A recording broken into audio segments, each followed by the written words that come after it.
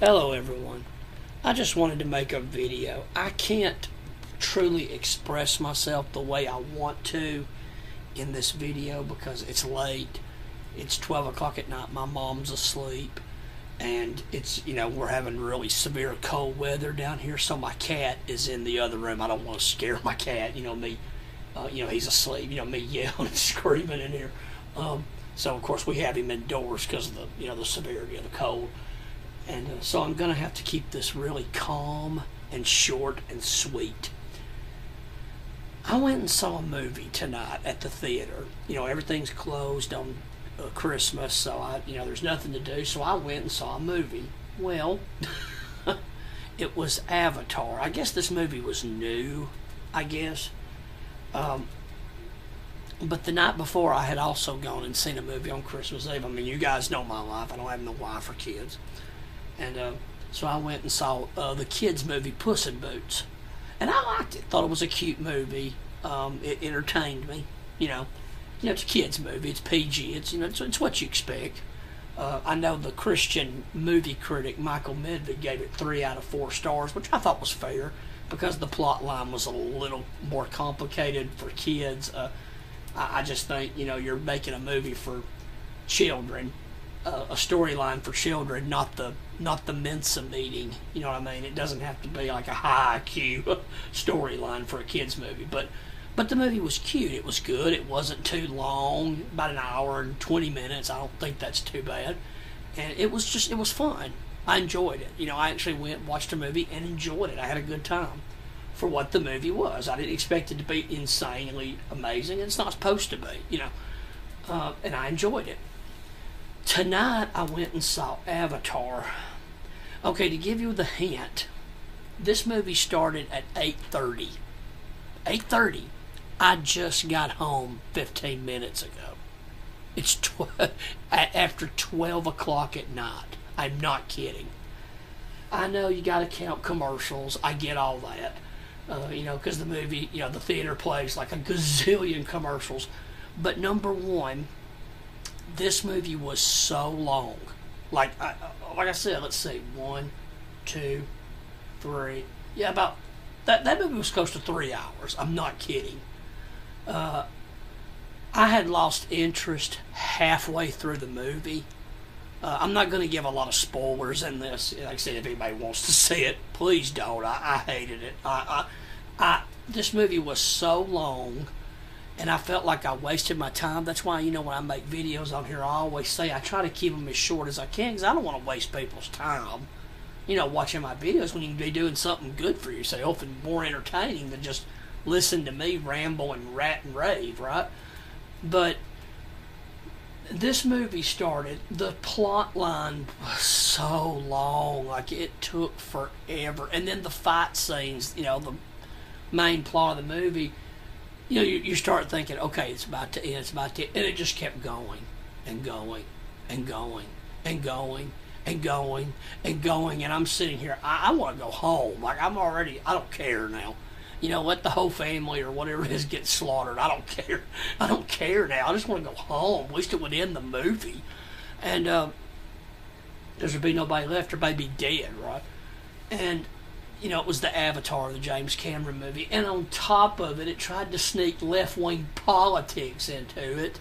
Uh, you'll get, if you know, I guess if you're left wing, you won't mind. But there was a lot of left wing wokeism in this movie and uh, I'm just like, oh my gosh, you know, and uh, you know, like it now, it's going to try to teach me politics too. Like really, you know, I halfway through it, I, almost said it out loud, and there was a decent amount of people in the theater for what the movie, you know, for that movie. It was you know Christmas night, Christmas Day night. And there was this goofy couple that was sitting next to me. They kind of would talk through the movie.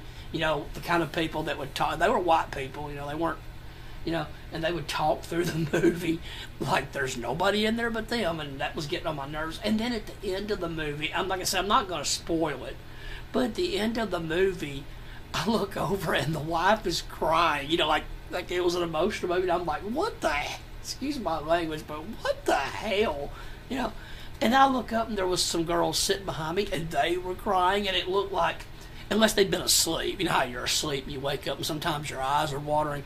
But uh, but uh, th- there was some girls up behind me, and it looked like they had kind of been crying because I knew I kept hearing sniffles, and they had not sniff, you know, snuffed their nose, you know, throughout the movie. And then you start to hear the, you know.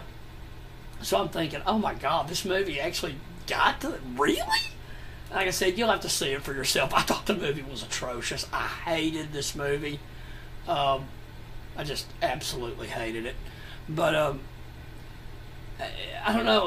Like I said, this movie was so long too. Uh, if you, has anybody, you know the movie Karate Kid, the first one.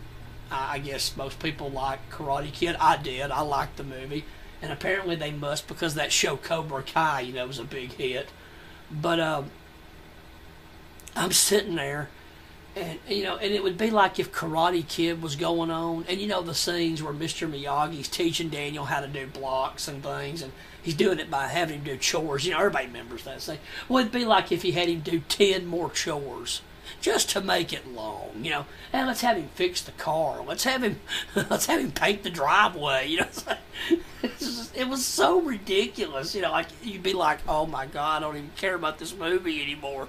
And uh, or it'd be like if Daniel was in the karate tournament, and instead of having him fight just Johnny, he's going to fight like 20 other people, or or he'll beat Johnny, and he'll be best out of three, or or he has to beat Johnny, and then he's got to beat the owner, but he doesn't really beat Johnny. Johnny didn't lose, and then the you know it would just be like, oh my god, this movie is too long. Like it's got too many plot twists. It's getting on my nerves, and uh, that's what this movie was like. It was so bad.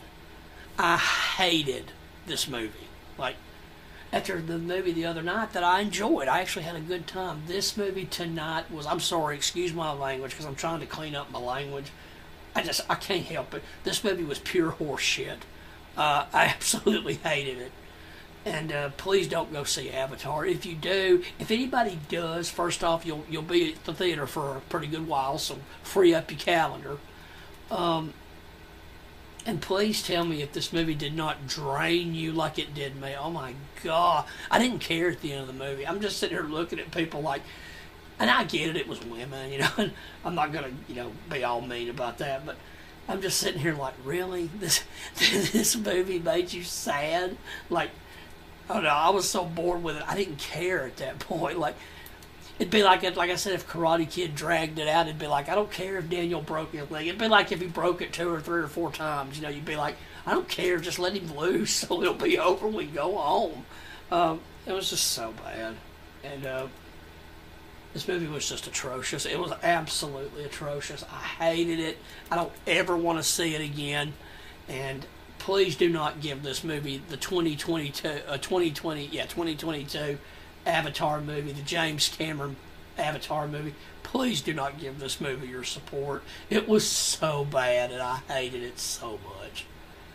Well, guys, that's all I got to say. Like I said, I'll leave it at that. And hope y'all had a good night. And boy, I hated it. that. Was three almost three hours of my life I lost. Oh well, guys, have a good one. We'll talk to you soon.